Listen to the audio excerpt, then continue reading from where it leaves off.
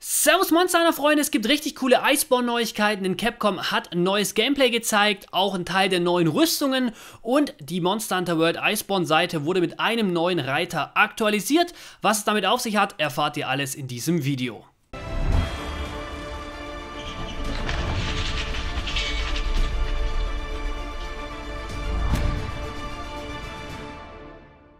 Schauen wir uns gleich das neue Gameplay-Material an, das Capcom veröffentlicht hat. Und zwar geht es um die neuen Angriffe der einzelnen Waffen. Das Langschwert und das Großschwert wurde vorgestellt. Das Großschwert hat man sogar im neuen Gebiet gesehen. Und da ist auch nochmal eine neue Szene dabei, die man noch nicht aus dem Trailer kennt, noch nicht aus dem Livestream. Deswegen bleibt auf jeden Fall dran.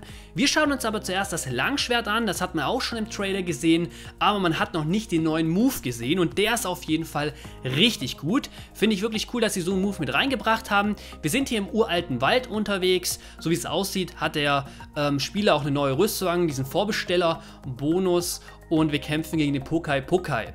Und so wie es jetzt aussieht, man weiß ja nicht hundertprozentig, so wie es ich vermute, wenn wir die Elan-Kombo machen, können wir eben am Schluss in einen Konter ähm, wechseln oder mit einem Konter die Elan-Klingen-Kombo beenden. Normalerweise drückt man, glaube ich, dreimal die oder viermal die RT-Taste für die Elan-Klingen-Kombo und kommt dann auf die nächste Stufe nach oben. Hin und wieder kommt es natürlich auch vor, dass man ja während der Elan-Klingen-Kombo dann ähm, getroffen wird, meistens noch am Schluss, dass es einem nicht langt.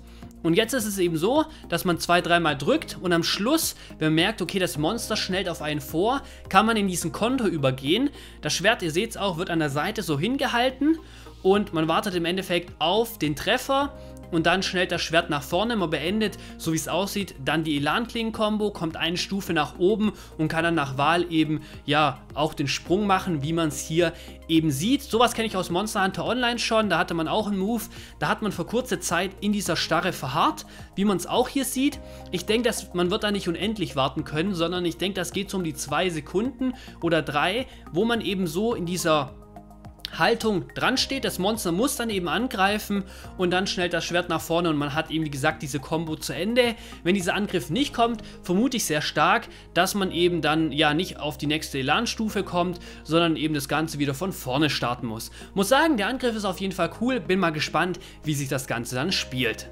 Kommen wir zum neuen Großschwertangriff. Der wurde ja schon im Trailer gezeigt, aber hier nochmal ein bisschen genauer erklärt. Und zwar kann man eben die Combo beginnen mit der Schleuder. Man schießt das Monster an, es schreckt zurück, man sieht es hier wirklich sehr gut und kann dann direkt in den stärksten Angriff vom Großschwert wechseln. Also ich glaube, das ist der wahre aufgeladene Schlag. Auf jeden Fall der letzte, wo man nochmal diesen Überschlag macht und dann den krassesten Schaden dealen kann. Und so wie es aussieht, ähm, kann man das eben direkt nach der Schleuder machen. Man muss das Großschwert nicht davor erst aufladen mit zwei Schlägen und dann kommt man eben in den stärksten Angriff, sondern kann es anscheinend direkt nach der Schleuder machen, was auf jeden Fall extrem stark ist. Bin auch mal gespannt, wie das sich spielt und ähm, ja, allgemein mit der Schleuder ist schon heftig, Waffe muss man nicht mehr wegstecken, kann im Endeffekt schießen und ähm, ja, dann seinen Angriff perfekt auf das Monster setzen und das macht dann natürlich schon richtig krassen Schaden.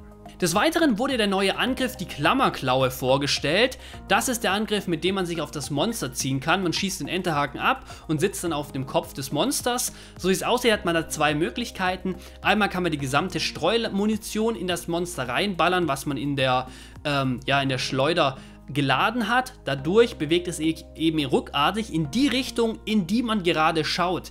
Bedeutet, man kann das Monster für kurze Zeit eben lenken. Hier sieht man es jetzt eben, dass der Hunter in Richtung Wand schaut und es läuft jetzt gegen die Wand und fällt dann oben. Besser ist es natürlich, oder eine coole Möglichkeit finde ich zum Beispiel, man hat eine Falle auf dem Boden und das Monster will ums Verrecken nicht in die Falle, ist aber fast tot. Dann kann man es im Endeffekt ja mit dieser Kralle, mit dieser Kralle auf den Kopf springen, die Ladung reinpumpen, man guckt in Richtung Falle und dann läuft das Monster in die Falle rein und man kann dann eben Beruhigungsbomben werfen. Finde ich wirklich ganz cool. So wie es aussieht, gibt es eben noch eine andere Möglichkeit, dass man eben so nicht die Schleuderkapseln reinbombt, sondern eben allgemein Schaden macht. Ich vermute, dass der Schaden so hoch ist, als würde man das Monster halt ganz normal mounten, wenn man oben drauf sitzt und am Schluss finisht.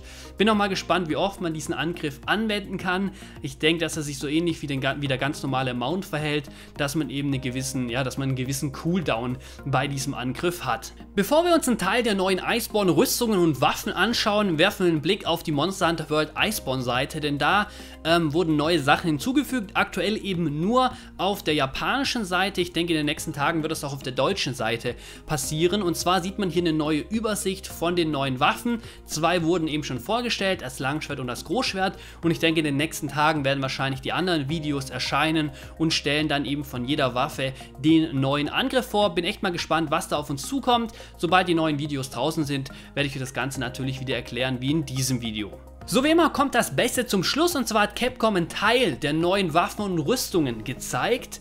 Da ist ein neues Bild aufgetaucht, das seht ihr jetzt hier auch eingeblendet, sieht super cool aus. Wir fangen ganz links an. Meiner Meinung nach ist die Rüstung ganz links die vom Beotodus, dem neuen Hai-ähnlichen Monster, nenne ich es jetzt einfach mal. Ähm, Farbe sieht gleich aus, auch der Helm mit dieser Finne, mit dieser sehr spitzen Finne, die der Beotodus auch auf dem Kopf hat. Ich denke, das ist auf jeden Fall seine Rüstung.